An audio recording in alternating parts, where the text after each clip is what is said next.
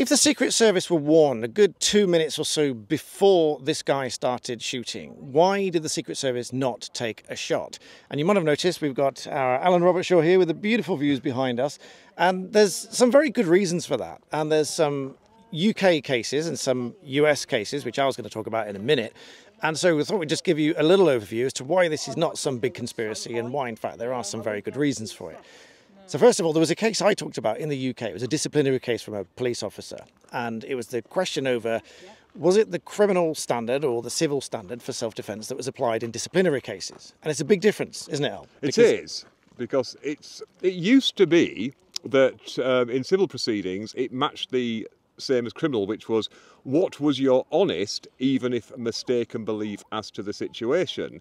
They changed that in civil proceedings to say, no, you must have a reasonable belief that you were under threat or somebody else was under threat, because this also includes use of force to protect other people.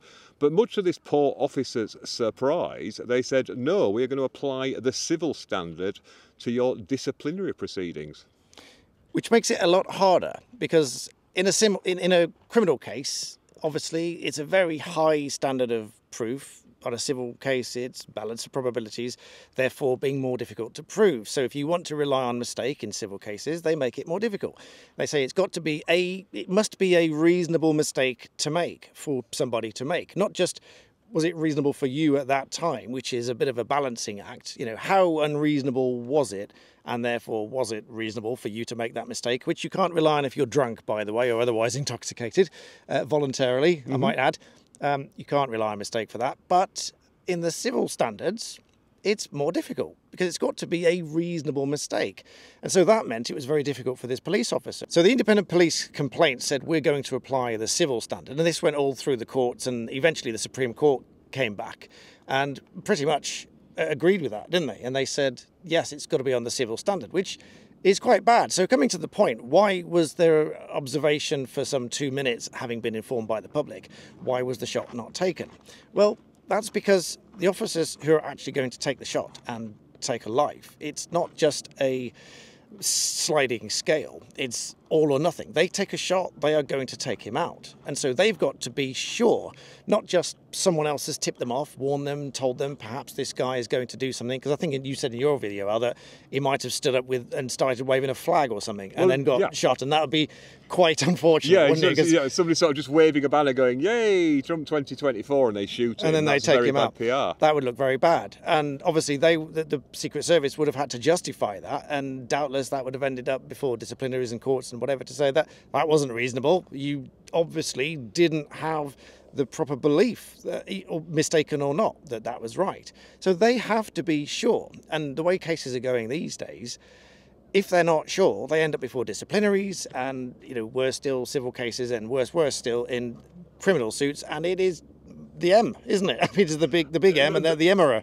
as yeah, you put it. because I did my other bit about like how the you know the police don't owe a duty of care to potential victims of crime. So if you're going to default to one position, which is, well, if I am wrong and he is a threat and he shoots everybody, I actually don't get into trouble. If, however, I do shoot him and it turns out he wasn't a threat, I go to prison for life. So perhaps, you know, you can, you know, that's at the back of their mind, and that's why they just perhaps pause to assess the situation and certainly if I was there with the weapon to pull the trigger, then I would want to be sure. Mm. I, I wouldn't want to. I wouldn't want to rely on anything anyone else said. I would want to be sure in my own mind that that was absolutely right. And I think you said in your video, which we'll link below, so you mm. must go and watch that because Al's done a very long. Um, well, it seemed long because it was it's, it's, it's, it's, long and interesting. I was sitting there watching it. It seemed long because we were sort of balanced on about two inches from the edge of a collapsing cliff. That's, that's so every second, right, every second yeah. we were sat there felt a little, little bit like some that are behind us. Actually, they're very beautiful, but um, we were sitting on the ed- on the edge of those. But no, it, listening to that case and um, being sure about what was going on, and those officers there, they they had to make that choice there and then, and it's an all or nothing choice based on what they believe, not just on what they're told. So we'll link that video below as well. Got heli- helicopters going by as well now. That's the Coast Guard. so they're probably going like, who are those two daft idiots standing on right on the edge of the cliff filming a video. Yeah, we'll be back for you later. Yeah, yeah see you in a bit, Al. Yeah, um, so no, we'll link that below. Go and watch that. It's very interesting because it's, it's very detailed. And so for those that are saying, you know, why why did they know so many minutes beforehand? Why did it take them so long to do anything? Because well, that's why he could have just stood up, started waving a flag or whatever. I mean, it's all a bit suspect, and it's all a bit, mm.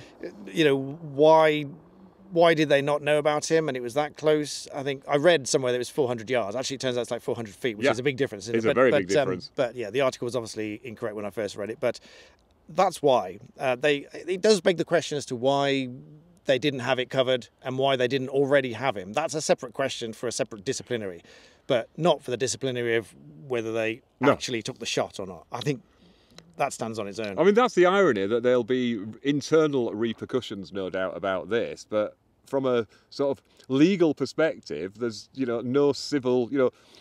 The, the, the president or former president, as some people will insist, even though mm. he's actually president, you know, the, the, the, Secret Service don't owe him a duty of care because it's not as if in, there's even a contractual one because he doesn't pick up the bill.